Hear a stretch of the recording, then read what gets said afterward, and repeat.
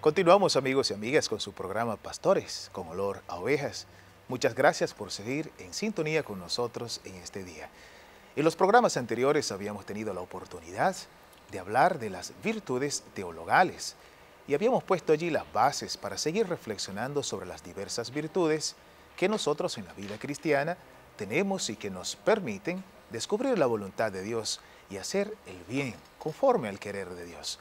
En este sentido, hoy pues es el tema que queremos reflexionar con ustedes. Y Padre Kennedy, precisamente cuál es eh, la virtud o las virtudes que queremos ver hoy. Bien, dentro de las, de las, virtudes cardinales, pues tenemos una que es eh, la, la primera, que es la prudencia.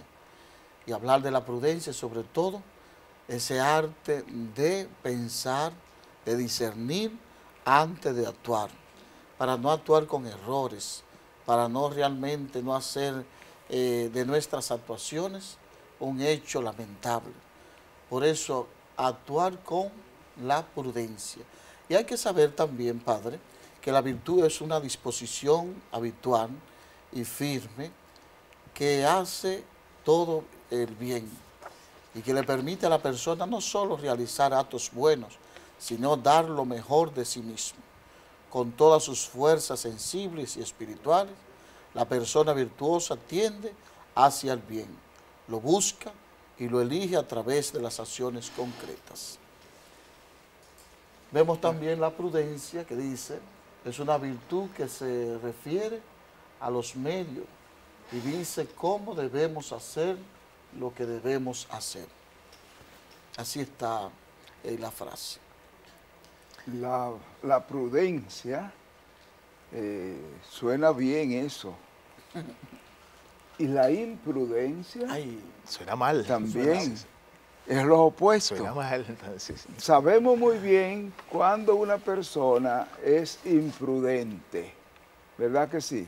sí. ¿Eh? Cuando porque eh, tal vez actúa sin pensar, hace cosas eh, mala, eh, que no buscan el bien, eh, imprudente. eso lo sabemos. Por ejemplo, la persona que, maneja temerariamente, que va sin tener en cuenta el peligro que lleva, es imprudente. Entonces, vamos a ver lo de la prudencia. Es la persona que entonces está eh, buscando el bien, que tiene mucho cuidado para hacer el bien a los demás. Ese es el prudente, la virtud de la prudencia. Eso hay que cultivarlo mucho, hay que, esforzarse uno por, por ser prudente. ¿Verdad que sí? Porque, Monseñor, esta semana sucedió algo lamentable y bochornoso. Es cuando los, eh, los policías municipales, oye, fueron a quitar los limpiavidrios que estaban en la calle. Oye, se, se produjo ahí un hecho lamentable donde ha perdido la vida un ciudadano. Pero si uno comienza a analizar ese hecho, fue sobre todo una imprudencia detrás de otro. Desde uno eh, que van a quitarlo de una forma grotesca y después también cómo agarran un arma, así sin prudencia, sin pensar, porque da pena muchas veces después que hacen un hecho tan lamentable, innecesario también, oye, ya vienen a, va a pasar a la cárcel por ser imprudente, porque no había necesidad de, toda esa, de todos esos hechos, uno detrás de otro, y llegó a una consecuencia que es la pérdida de un, de un ciudadano, reitero, y aparte de eso, de una, de una persona que vaya a la cárcel y familias que están detrás de esa persona también que sufren mucho. La imprudencia produce sufrimiento, por eso no seas imprudente, busca siempre discernir, piensa antes de, actuar, por eso piensa también en la vida, en la familia, ¿entiendes? Aunque a veces eh, hay hechos que son realmente que, que le hacen a uno perder la paciencia, pero piensa que el ser humano está para eso, para pensar y para ser prudente. Si la persona es imprudente, de ahí se derivan muchos problemas, muchas cosas feas, malas, cuando hay imprudencia.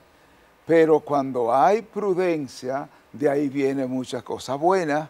¿Verdad que sí? De ahí viene, de ahí se derivan todo lo bueno en favor de las personas, en favor de, del crecimiento de la sociedad, en favor de la comunidad. Todas cosas buenas vienen por la prudencia.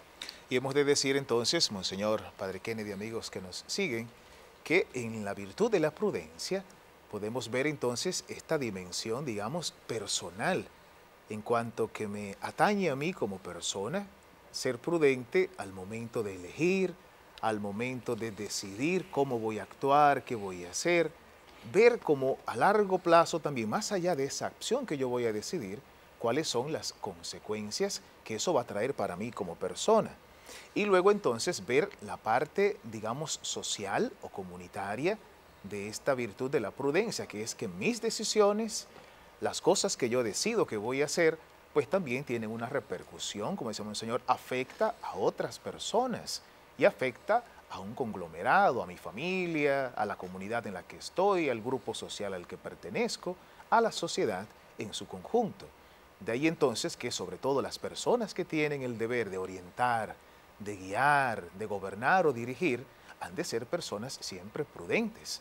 No así personas imprudentes, como decía Monseñor, que lamentablemente entonces hacen mal y a la larga llevan a otros también a caer en la acción del mal. Podemos decir también que la prudencia como virtud cardinal, virtud importante en la vida, eh, es como un regalo de Dios. Hay que pedírselo a Dios que nos, que nos haga prudente, que nos dé ese regalo de ser prudente, es decir, de vivir la vida siempre eh, pensando en los demás, eh, pensar, como decíamos, antes de actuar, que nosotros eh, pidamos ese regalo a Dios. Y sobre todo, Monseñor, qué bueno es cuando hay prudencia también en la parroquia, qué bueno cuando está la prudencia en la comunidad, en el movimiento, en el grupo, en el carisma, ¿entiendes? Se puede desarrollar una pastoral mucho, mucho más ligera, eh, las cosas fluyen, contrario cuando hay imprudencia, que se incomodan, se van, se retiran, eh, trabajan inconforme. Entonces estamos llamados a ser prudentes dentro de la comunidad. Hay que buscar todas las formas para ser lo más prudente posible. Recordemos que eh, ser prudente es poder discernir, es poder realmente pensar antes de actuar. No se puede actuar a la, ligera. El que actúa a la ligera entonces eh, ofende, el que actúa a la ligera muchas veces su comportamiento, eh, muchas veces rechaza a los demás. Entonces no podemos actuar de esa manera. Nosotros somos realmente hombres y mujeres de fe que estamos llamados a esa prudencia. La prudencia viene, eh, para tener prudencia hay que antes tener ese discernimiento. Para tener discernimiento es importante estar en gracia, tener el Espíritu Santo. Cuando tú estás cerca de Dios, tú eres una mujer prudente, un hombre prudente. De manera que estamos llamados todos a ser prudentes y acercarnos a Jesús, al Maestro, al Maestro que es Cristo. Bien, pues vista así la prudencia entonces, tenemos ante nosotros, como hombres y mujeres de fe, un gran desafío, ya lo decía Monseñor, es una virtud que nos la regala Dios como un don. Entonces hemos de abrirnos a ese don que el Señor nos da, ese regalo. Solamente se recibe quien está dispuesto a recibir algo que le ofrecen. Y el Señor nos lo ofrece si nosotros lo pedimos, si lo recibimos con el corazón abierto. Les invitamos a continuar con todos nosotros. Vamos a una breve pausa y en breve regresamos con Pastores como olor a ovejas.